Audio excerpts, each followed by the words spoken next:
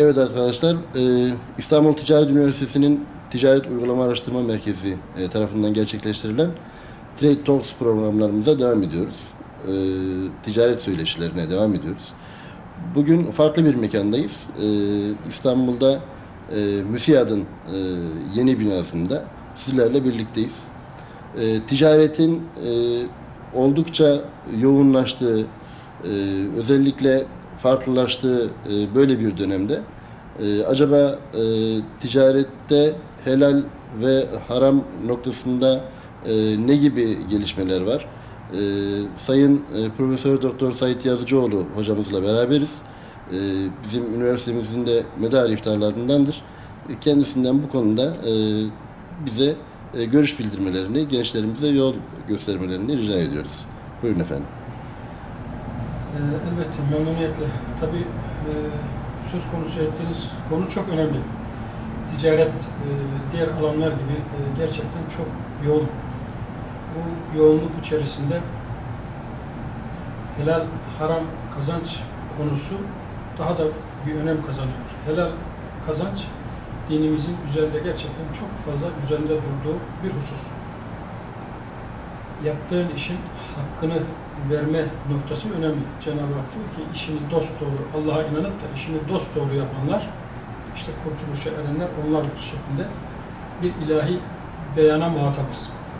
Dolayısıyla işi dost doğru yapmak, yani yaptığın işin hakkını vermek çok önemli.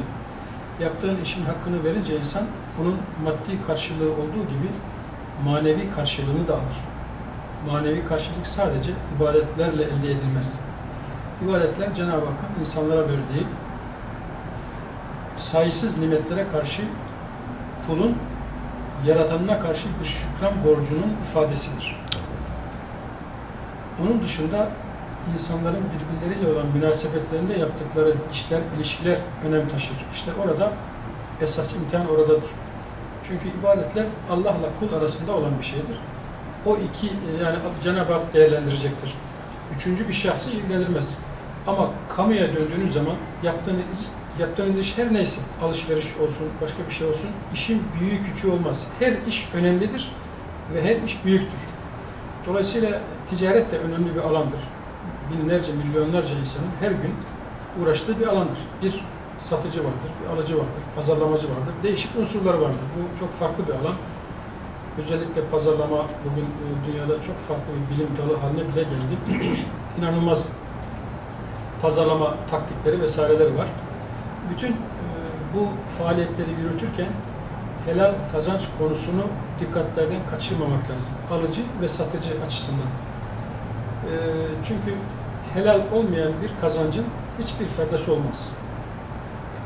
E, Allah korusun onun çoluk çocuğuna bile olumsuzlukları geçebilir. Dolayısıyla bu konu e, önem arz eder. E, bizde ticaret ahlakı diye bir konu vardır. Ticarette doğru sözlü olmak, bir şeyi satarken her neyse onu olduğu gibi tanıtmak e, ve ona göre bir alışveriş e, icra etmek önemli. Onu başka türlü söyleyip allayıp pullayarak işte satıncaya kadar bir şekil gösterip ondan sonra başka bir şekilde çıkması hem insanı mahcup eder hem de herkesi Allah'a karşı mahcup eder. Esas mahcubiyet orasıdır. Dolayısıyla çok büyük bir vebal gerektiren de bir husustur. Ee, üzerinde önemli durulması gerekir. Şunun için önemli bir de bu günlük hayat karmaşası içerisinde e, alışverişin bile bazen rayından çıktığı olabiliyor. Söz gelimi şimdi aklıma geldi.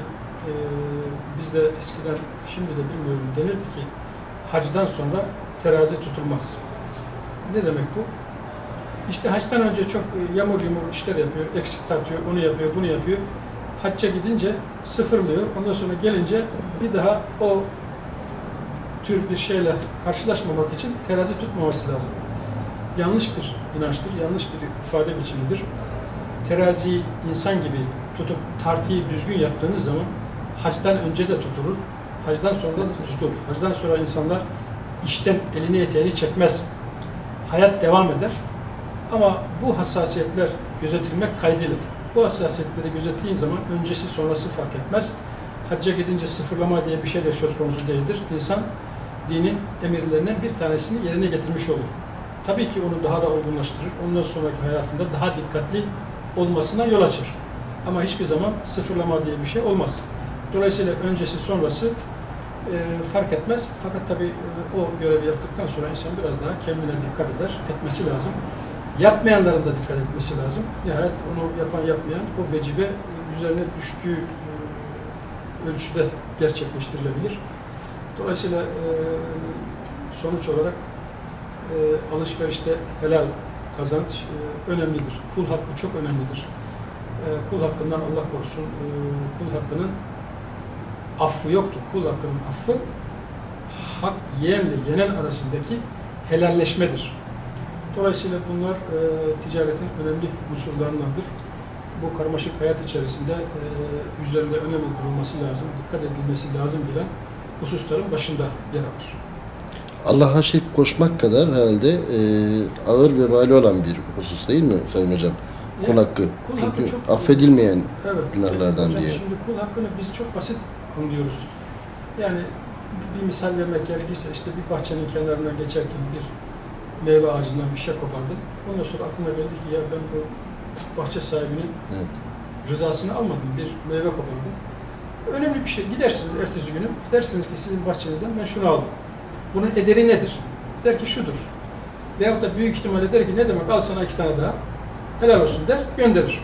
Eyvallah. Bunda problem yok. Ama esas e, mesela bir başka kul hakkı söyleyeyim. E, kamu işi yapan birisini düşünelim. Bir e, önemli bir mevkide bulunuyor, bir makam işgal ediyor. O işin hakkını vermezse ondan olumsuz etkilenen herkesin hakkı doğar onun üzerine. Bundan Allah korusun. Bunun bunun telafisi çok zordur. Dolayısıyla kul hakkını anlatırken bu yönlerini de yani kamuya yönelik bu yönleri üzerinde de durmak lazım. Esas önemli olan alanlar da bunlardır. Dolayısıyla onun için e, Cenab-ı Hak e, liyakat ve ehliyet esasını getirmiştir. Bu bize Allah'ın bir emridir. Yani bir işi en iyi, en düzgün yapacak kişiyi bulup bir makamı ona teslim etme meselesi. Ee, Evet. onun için önemli üzerine durulmuştur. Dolayısıyla kul hakkı e, önemli bir konudur ama sadece basit anlamıyla değil de e, hayatın her yönünü kapsayan, kapsayacak şekilde bunu değerlendirilmesi gerekir. Çok teşekkür ediyoruz verdiğiniz bilgiler için. Allah razı olsun. Hayırlı sonlar dilerim.